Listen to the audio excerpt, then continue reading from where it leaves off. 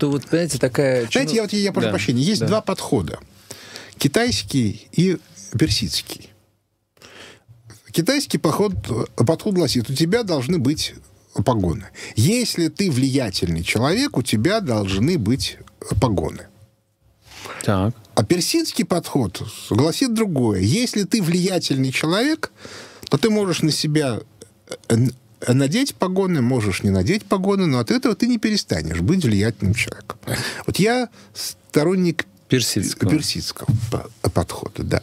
Ну вот, э, у меня по этому поводу все время ругань со всякого рода редакторами на разного рода э, как бы радиостанциях и, и- и- и телевизоре, которые, значит, все время в, в ужасе и пытаются меня цензурировать.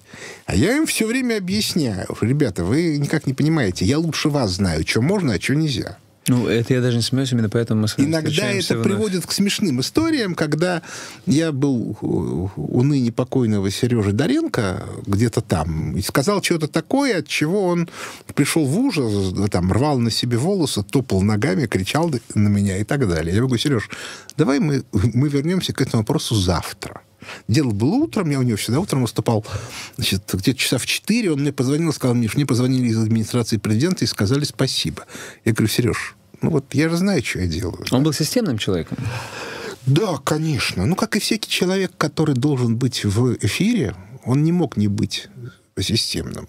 Его единственная ошибка состояла в том, что он в какой-то момент решил, что Березовский — это часть системы. Это была его ошибка. То есть у Березовского был статус, но он не был частью системы. И поэтому, как только система, которую в 91 году она была в легкой контузии, она очухалась, она, соответственно... Сожрала. Сожрала. Ну, она там не только Березовского